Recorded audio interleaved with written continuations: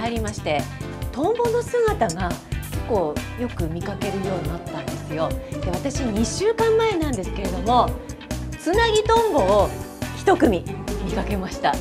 ずいぶん気が早いですよね。つなぎトンボっていうともうかなり終盤になって見かけるものだと思うんですけどやっぱりあれでしょうかね。人間だってせっかちさんがいますからトンボの世界にだってせっかちさんがいたのかもしれません。そんな秋が深まっている北海道から毎週発信。酪農情報専門チャンネルデイリーナビ TV 今週もお届けしてまいります。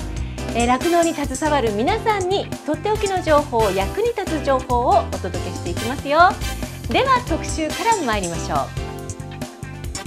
う。日本有数の酪農地帯別海町にあります中山農場です。平成3年に地域に先駆けまして家族経営から法人経営へと転換しなおかつ牧場経営には珍しく内製化組織化を成功させた牧場なんです。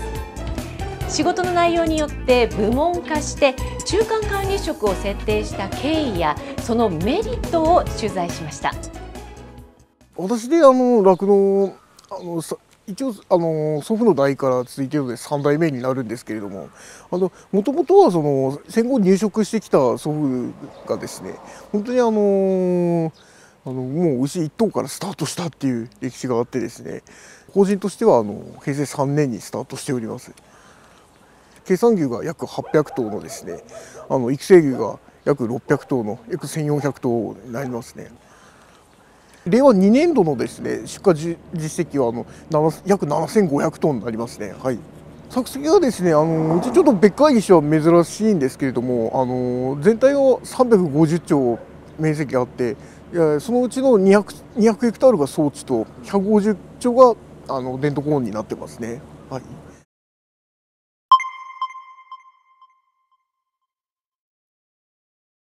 そうですね、うちがの一番特徴的だったのは、やはり平成3年にあの法人化して、かなり、あのー、まあ、早い段階でですね、ちょっと組織化を目指してはいたんですよね。であのもともとあのその時代はまだまだあの家族経営であの切り盛りするのが当たり前だったんですけど中山農場の場合だともう早くからですねその組織的にあのー、なんですかね業務を包括的に組織的にやっていこうとまあ、具体例で言うとですねもううちは基本的にあの外注業務はあのほとんど出さないようにしててですねあのできるだけ内製化であの事業やっていきたいっていう反面ですねやっぱりそうするとですねどうしてもその家族だけだと人手も足りなくなりますので、まあ、僕がよく言うのが、まあ、よそ者若者若者を入れないとあのやっぱりその組織を発展しないっていうことでですね最近はもうどんどんどんどんあの予想の若者を入れるようになってですねあのより人の会社が発展するようになったっていうのがあの最近ではよく 強く感じているところですね。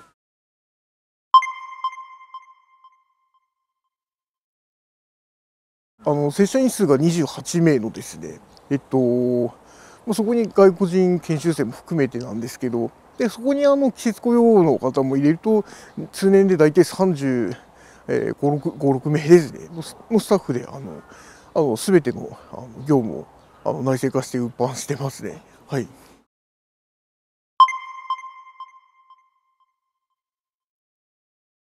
一番良かった点はですね、あのやはり事業計画があの常にあの自社中心で考えられるってとこですかね。やはりその伝統工の作付けあの先ほど150兆とかあんまり作ってないですよねって話ですけど、これもやっぱり外注だとですね、やはりあのやっぱコスト的にもそうですし作付け時期的にもやっぱりなかなか引き受けてくれるところも出てこなくなるのでこれも自社でやってるからこそあのすんなり取り組めたというのもありますしバイオガス事業もそうですね。やっぱりあのやっぱ外注に出して糞尿処理しようとするとやっぱり運搬の問題ですとか発電効率の問題もあのただ出てくるのでこれもあのやっぱ自社で取り組むことによってその営農計画全体のやっぱ包括的な取り組みとして組み込めることができたっていうのがあの一番メリットがありましたね内政化の。はい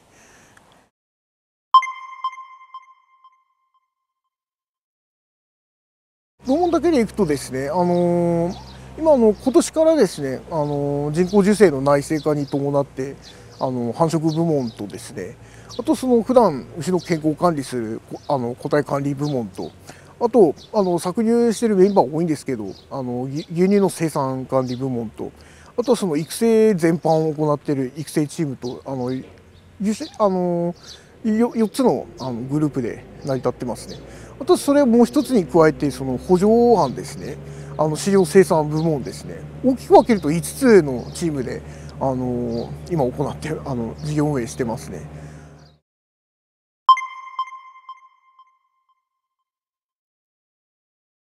個人事業主からですねやっぱりスタートして一番途中でどうしてもあの一つ山があるとすると組織が大きくなっていく時になかなかその情報が共有できなくなってくるっていうのがありましてで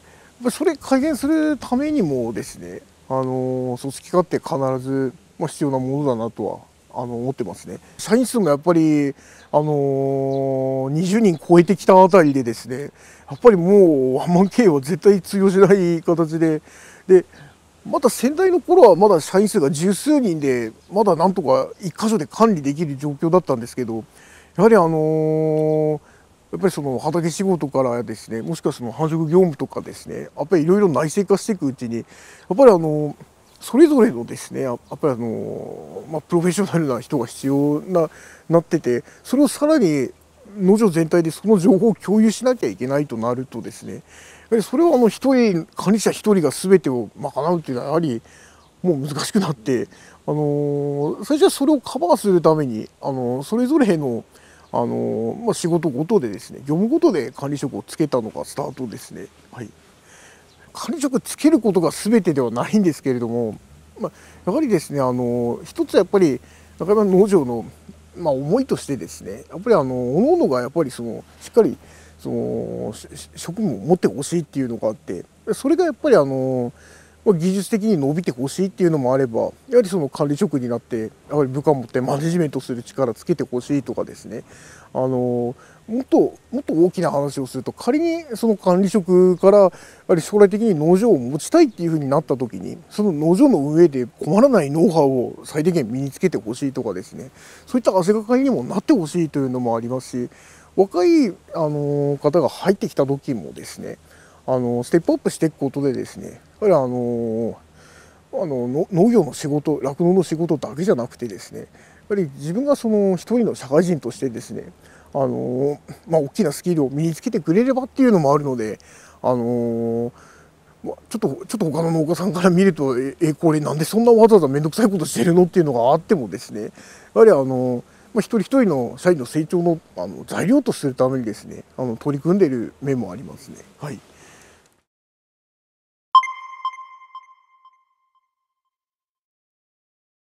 大きな組織になってしまうとやっぱりトップがぶれるとですね やっぱりそれはあのー、ちょっとやっぱりその不安になってしまうんで。であのやっぱり目標ちょっとお堅い話ですけど目標立てたらそれに向かってみんなで頑張っていこうっていうのがあのそれが一番ぶれない、まあ、信念じゃないですけれどもそれが一番必要にかと思ってますね。はい。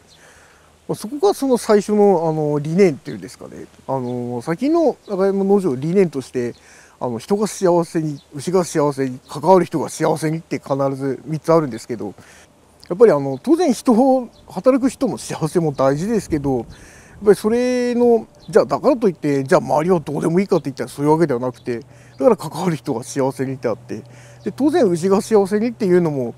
ぱりあのまあ、人とあの人と牛もビジネスパートナーとしてですねしっかりお互いが立たなければ成り立たないんだよっていうその3つの意味を込めてその理念がありますね。ここからは絶対ぶれないようにっていうのはそこ常に気をつけてますね。はい。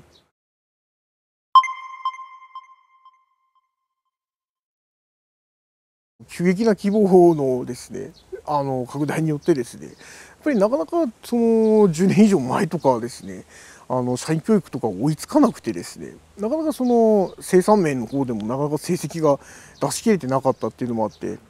でそこはあのちょっと今まで駆け足で来てしまったんですけれどもあの最近はその,、まあ、あの部門を分けたりですとか中間管理職つけたりとかでですねそのチームごとにその目標を持ってもらってで主に目標を立ててもらうのはその、まあ、繁殖成績であったり繁殖部門であったら繁殖成績であったり個体管理部門であったらそのロス率ですかあの死産率ですとかあの、まあ、廃用頭数ですとかそういった目標を立ててもらったりとかとそれで最終的に生産入量であったり牛の販売価格であったりであ販売頭数価格であったりとかっていうのを全体目標にまとめてもらってでじゃあ1万トン絞るとか9,000トン絞るためとかにはじゃあ各々が何をしなきゃいけないのかっていうのをチームごとであの目標立ててもらってそれに向かってあの、えっと、あの仕事してもらうっていうことでですねあの、まあ、かなりですねそのまあまあ、社員一人一人もそうですしチームごともそうですしその仕事の質も上がってきたっていうのはあの、まあ、やっとちょっと 何十年やってきてあのやっと改善してきたのかなというのが、はい、それを感じてますね。はい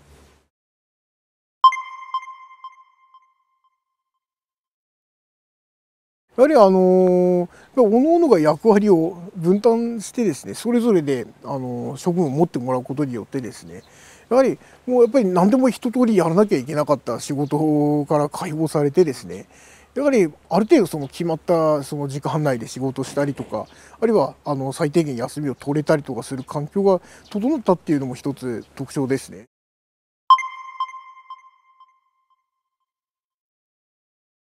僕自身としてはですねやっぱりその、まあ、やっぱり別海町っていう地に生まれてですねやっぱりこの地でですねやっぱりあの酪農畜産業でですねとにかく、あのー、より大きな経済基盤を作りたいと、あのー、まあ、今はそれがたまたまその牛乳生産を生乳生産を伸ばすっていうことですけれどもやっぱり最後はですねこの別海町っていう地区にどれだけ農業生産とか農業売上を作れるかっていうのが僕はそれが本当にただ本当にそれが生きがいっていうふうに感じてますのでやっぱりこれからもやっぱりあのやっぱりですねあの中山農場およびあの別海町のですね農業生産を伸ばしたいっていうのがあの一番の思いですね。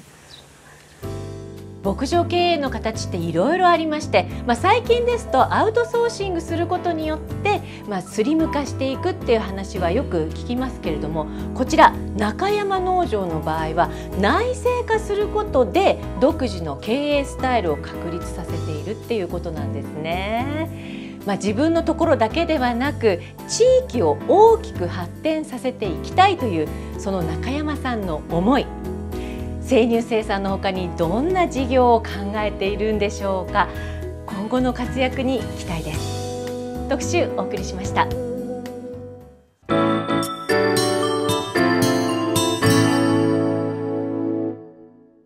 さて皆さんはいこちら。何かわかりますか？まあ、北海道の方そして雪国に住んでいる皆さんだったらピーンときた方もいらっしゃるかもしれませんがこちらプッシャーっていう商品なんです。であのまあ除雪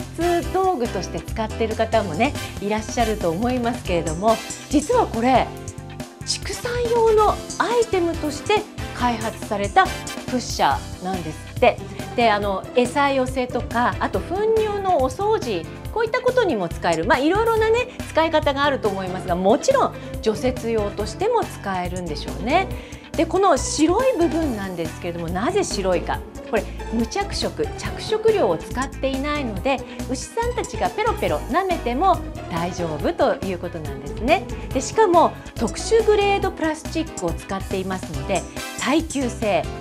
耐衝撃性あと耐薬品性に優れているっていうことなんですね。でさらにこの白い部分ちょっと壊れちゃったりしても大丈夫なんです。取り替えが可能となっています。だからまあとっても経済的とも言えますよね。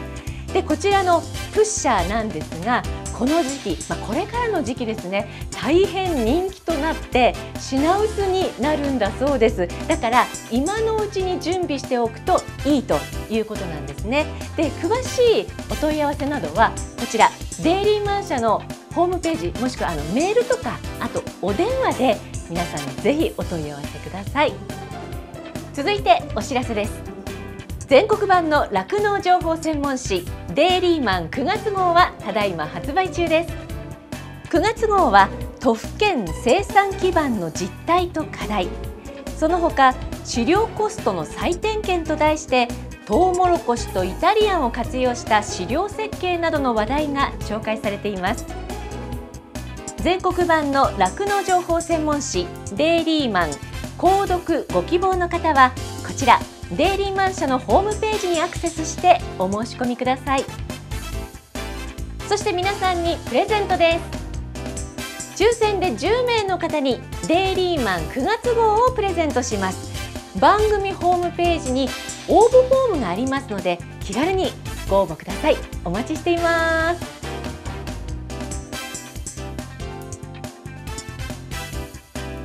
さあデイリーナビ TV 次回の特集はこちらになります北海道東部に位置する別海町のリジットファームズは女性を中心とした若い働き手が多い牧場です。作業のマニュアル化によって実現させた酪農を支える新たな姿をご紹介します。またイタリアに赴き選定した日本初導入の TDM 社製 16W ミルキングパーラー。森田社長が惚れたという搾乳設備もご紹介します。ぜひご覧ください。さあお送りしてまいりましたデイリーナビ TV いかがだったでしょうか？番組公式サイトでは番組のバックナンバーのほかスポンサーのウェブサイトともリンクしていて最新の製品情報などもチェックできますのでこちらもぜひ活用してくださいね。それではまた次回のデイリーナビ TV でお会いしましょう。